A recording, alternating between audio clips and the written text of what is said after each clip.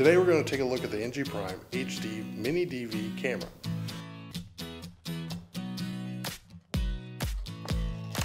This little camera records in 1080p, 720p, and has night vision, as well as motion detection. Comes with a cable to connect it to your computer or charge source, the camera itself, and a mounting bracket.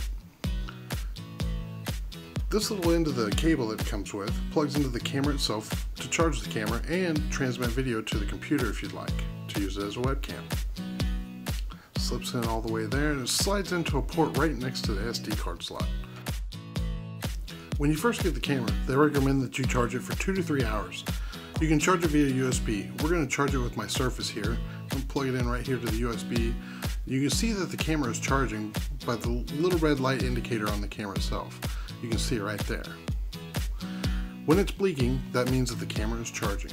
When fully charged, you can use it for 30 to 100 minutes depending on the features you use. Now that the camera is fully charged, let's power it on. To do that, you want to hold down the power button right here. You can see it's indicated by the little power icon there. You hold that down for two seconds. There we go. That little blue light means that the camera is on. Now, currently the camera doesn't have the SD card in it, so that's why the light is blinking blue and red. To fix this problem, we're going to go ahead and insert an SD card so we can see what it looks like when you have an SD card inserted and power the device on. Slip it in here real quick. It just slides in like that. There you go. All right. And then now we're gonna push the power button for two seconds 1000, 2000. There's the blue light. There we go. Now it's ready to roll. Now let's record our first video in 720p. Start with the camera on, push the power button, and the blue LED will blink three times. That lets you know it's recording. When you're done recording, press the power button and it will stop. The blue LED will come back on to let you know that it's stopped. Let's see that one more time. Power's on, push the power button, three blinks, now we're recording and stop by pushing the power button again, and we're done. Now let's put the camera into 1080p mode. To do this, push the mode button and hold it until you see the red and blue lights. Once you see these, you can start recording with it. To do that, just press the power button, like in 720p mode. Now it's recording. To stop, just press the power button again, and it stops. You can see the blue and red LED indicating that it stopped recording. Now let's put the camera into night vision mode. To do this, start with the camera off in the resolution that you want to record in. Turn the power on, and while the blue light's blinking, hold the power button for 2 seconds. The red light will flash 3 times, and it's ready to go. Activating the motion detection mode is very similar to activating the night vision mode. When powered on, simply press the power button hold it for 3 seconds instead of 2 seconds. When the red LED blinks 3 times, the mode is activated. Put the camera into photo mode, turn the camera on, and then press the mode button two times. Once the LED goes from blue to red, it is in photo mode. To take pictures while in photo mode, simply press the power button. You can see here the camera is in photo mode. By pressing the power button, the light will blink and you know it's taking a photo.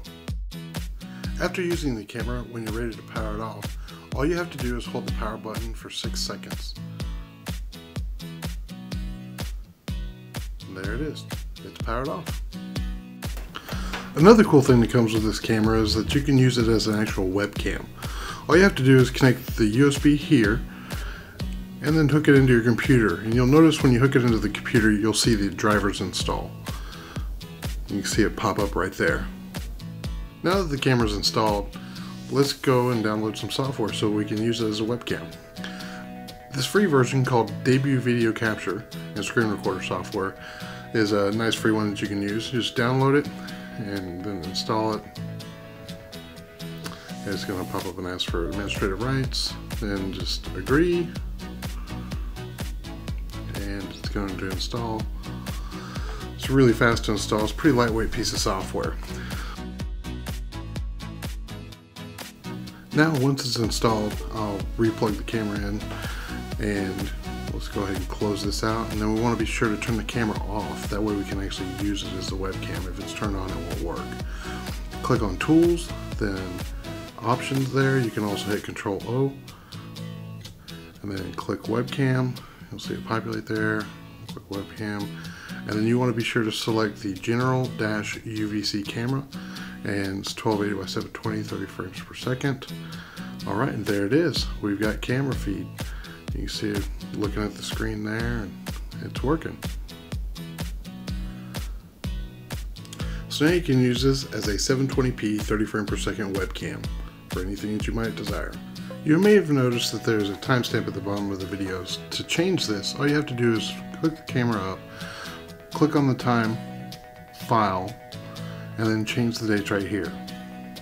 You can set the date, the time, down to the second, and then you'll notice at the end of this line, there's an N. That tells the camera whether or not to put the timestamp on the video or photos that you have when you take them. For me, I don't like having a timestamp, so I leave it at N. When it comes out of the box, it's set to Y. You have to update this anytime you put a new SD card into the camera. This file gets created anytime the SD card gets put in, so if you take it out and put it back, it gets overwritten. Thanks for viewing my instructional video on the Enji Prime HD Mini DV Cam went over a lot of different features and a lot of different functions. I may not have gone into enough depth for everybody, but I tried to keep this video around five minutes. So if you have any questions on something I may not have covered enough, don't hesitate to leave a comment in the section down below. I'd be glad to answer that question for you. This is Joe the Guru. Glad to see you here. Hope to see you next time. Be sure to subscribe and click the notifications icon. That way you get updates on any new product that I release uh, review for. Look forward to seeing you next time.